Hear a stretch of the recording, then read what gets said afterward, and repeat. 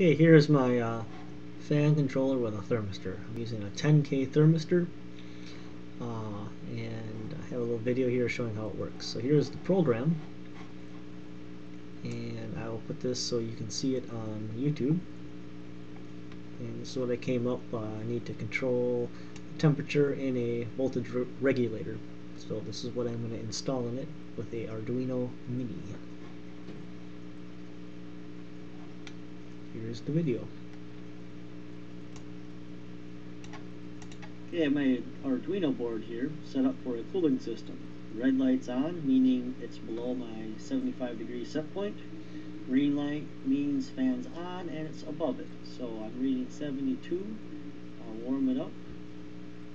It hit above 75, got up to 79, and now it's cooling itself down. 76, 75, and once it goes below 75, the fan turns off. So there you have it.